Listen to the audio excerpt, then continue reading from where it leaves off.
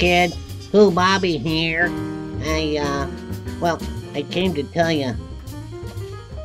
It's cool to follow the rules. Yeah, the rules in kids' church.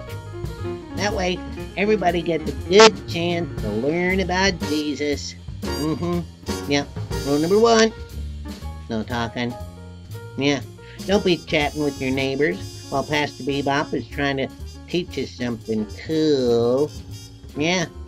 Okay, that's rule number one.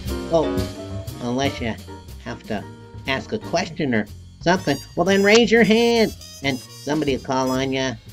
Yeah, that's how it's done. Okay, rule number two. No walking. Yeah, because you know what? If you have to go, hold it. Yeah, you're big enough, kid, to do that. Unless it's an emergency, then raise your hand, someone to call on ya, and okay, take care of business. Alright?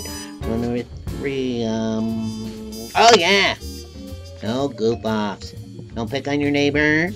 Don't pick your nose. And don't pick your neighbor's nose. I hate when that happens. Yeah, I'm trying to listen, and somebody trying to pick my nose or got their finger in my ear. Makes it hard to concentrate. Yeah, that is not cool. So, obey the rules and be cool like me. Cool Bobby. Alright? Yeah. See you later. Bye-bye.